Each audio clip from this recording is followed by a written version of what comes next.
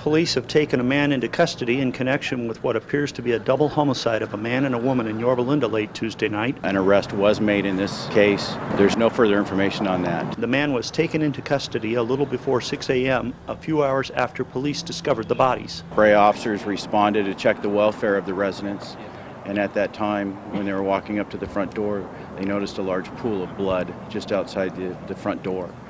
Um, at that point, they backed away from that location. They continued their search around the residence to lead them to the backyard. When they were in the backyard, they had a, a view of the interior of the residence, and at that point, they saw two bodies that were down on the ground inside the residence, non-responsive.